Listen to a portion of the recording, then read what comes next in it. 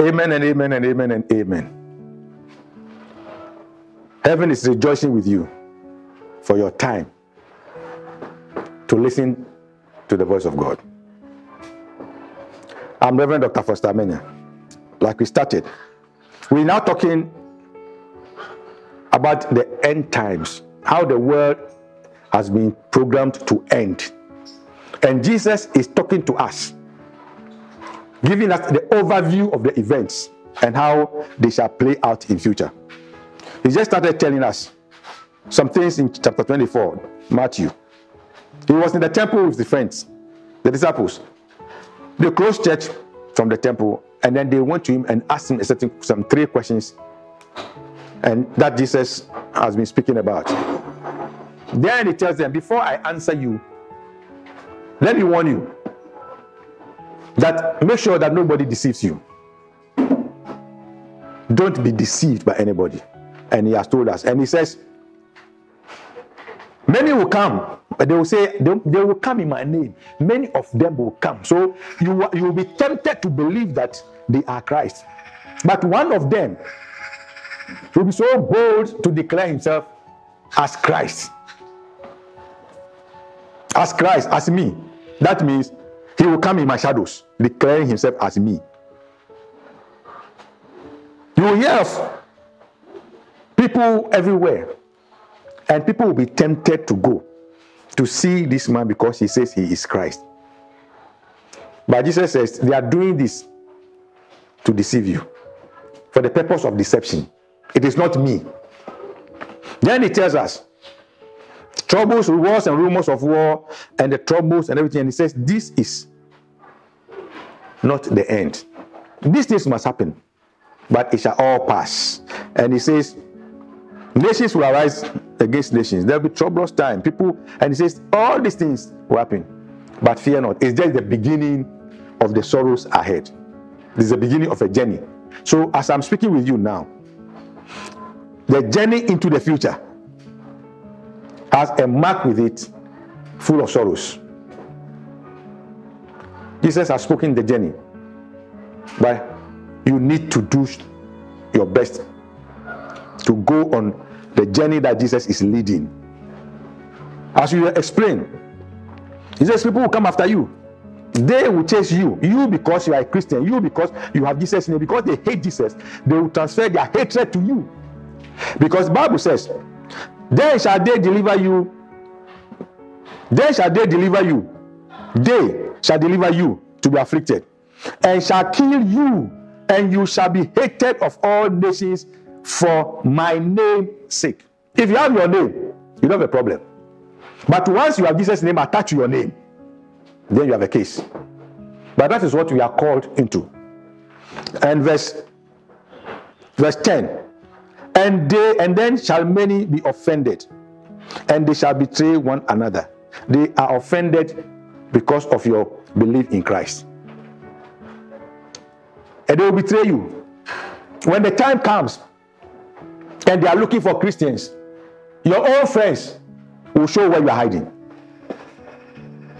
Then you will know who are true christians and who are churchgoers so I want to encourage us now that if you are a Christian, decide once and for all that you will die in Christ, knowing very well that sorrows will come your way. They may even kill you, they will betray you. But Jesus has given the promise. He said, Those that are doing those to you, it's not me, they who have come in my name saying, I am the Christ.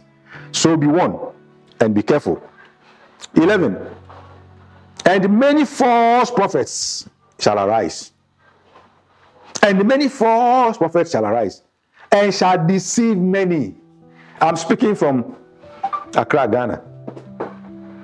We see all over the television. People come in, they say uh, they are pastors, they are prophets, and you listen very carefully with them to them, and you take your Bible, and you can tell that Jesus' prophecy is coming to pass. Jesus spoke this thing a thousand nine hundred and eighty something years ago. Now, in our generation, we are seeing all this happen. There's a possibility that these things will intensify even in this our age. We may be witnesses to it, but at least for the false prophets who have come to deceive many, we are experiencing them now. And I'm sure you also know at least one of them. 12. And because iniquity shall abound, the love of many shall wax cold. Because of evil. Iniquity in itself is what? Is the idea of evil in our hearts. It says it shall grow. And when that grows, the love of God will wax cold. Many people shall turn away from God. They will begin to enjoy the world as it is, the deceptions of the world. And because of that, Jesus says, Many people love for him shall grow cold. In fact, I'm sure when Jesus was saying this and mentioned this this this verse, and because iniquity shall abound, the love of many shall grow cold. I'm sure Jesus actually felt so bad for himself. He came with love. We are paying him with hatred. Those who claim that they love him eventually shall turn their backs on him. Then he says 13. 13. And he... underline, underline the 13. Underline the 13 in your spirit. 13.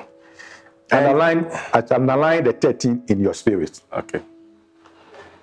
13. And he that shall endure unto the end, the same shall be saved. I've told you all these things. They will hate you, they will persecute you, they will kill you, they will do things against you.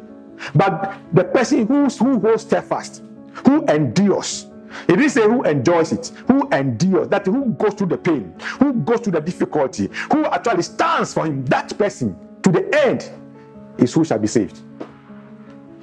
The fact that you, you, you accepted Jesus yesterday and today you turn your back on him, you are not a child of God. It says, enduring to the end. You must get to the last post. If people are running, if people are running 100 meter race and you do 50, you have not gotten to the finishing line. You are not considered one of the winners. But it says, those who endure to the end, they shall be saved. If you look at Christianity now, our churches now, they become places of concerts and jokes. Jesus is coming. He has made it clear he is coming. He even said that a day has been appointed in Acts 17, 30 going. When Jesus will come to judge the world. Amos chapter 4, verse 12. He says, Prepare to meet your God. So no matter what you do, Jesus will come. Because we just studied and he realized that he has seven more years to survive or to live on this earth to get his crown. He will come back to get his crown. So no matter what you do, people can tell you, oh, what they are saying, they said a long time ago, he will come. Doesn't matter what you say. It doesn't matter if you don't believe. He says he is coming and he shall surely come. Now, look at verse 14. And this gospel of the kingdom shall be preached in all the world for a witnesses for a witness unto all nations, and then shall the end come. The gospel that I'm, I'm talking to you about, the love of God, the, the, the birth of God, the death of God, the, res- the resurrection of Jesus Christ, the forgiveness of sins, the salvation, and eternity. Bible says the whole world must hear about it. It's when the whole world hears it that the end will come. But are you sure the whole world has heard about it? There are people still who don't have Bibles, who have not heard about it. But God has a way to do that. He says, and this gospel of the kingdom, which kingdom? The kingdom of Christ, shall be preached in all the world for a witness unto all nations, and then shall the end come. This gospel which you have, for which reason they are killing you because of his name. He says we should preach it. Some of us they will kill us, but we still we should preach it. And then says, when you have done this, before the world will come to an end. Now, this scripture here, God supports this scripture in the book of Revelations. Somebody says, Oh, but this one is impossible. It is possible with God. With men, it may be impossible, but with God, all things are possible. And God said it in Revelation chapter 14. He has set a day where an angel will fly in the midst of the air, preaching the last God, the last gospel. If we don't finish it according to God's appointed time, God will appoint an angel to finish it. It is written in the book. to appoint to do it. And then 15, he When- says, When ye therefore shall see the abomination of desolations spoken of by Daniel the prophet, stand in the holy place. Whoso readeth, let him understand. Now, 15. When ye therefore, the word ye therefore here stands for people who people who know the scriptures. People who hear the scriptures. People who are reading the word of God. When ye, you, therefore shall see the abomination of desolation. This abomination of desolation spoken by Daniel is where the small p represents.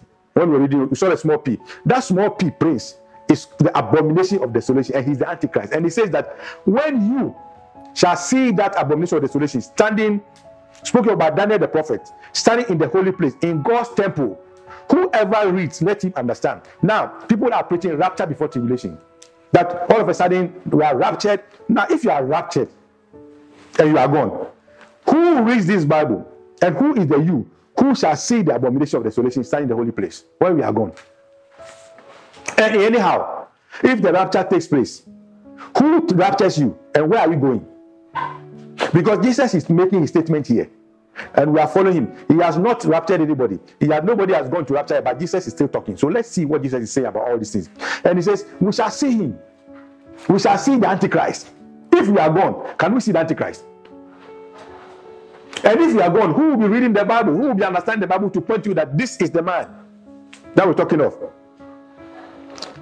When you, you, the child of God, therefore shall see the Antichrist, the abomination of desolation, the destruction or the destroyer that Daniel has spoken about, let the one who is reading understand. My friend, child of God, go back Take the, the lines one by one. Pray God to open your understanding and give you spiritual insight. Don't just follow people because they are saying it. Rapture before tribulation doesn't exist. It is satanic message to confuse you. Because when you are preaching rapture before tribulation and you don't know when you are going to be raptured, how can you have the peace of mind to conduct your worldly affairs? But the Bible says, with God, the peace of God will, rule your heart. How can the peace of God rule your heart at the same time when fear is ruling your heart? So I say and I declare it. There is nothing like rapture before tribulation. The Bible is saying it, and the Bible justifies it, and I'll get to that place soon. Now, Jesus made this statement. He has said it. You can say you believe it or not. That doesn't make any difference to me. He has said it in his word. I can't change the word of God. Mine is to bring you the revelation that I have on it as He taught me the word. That's what I'm bringing to you.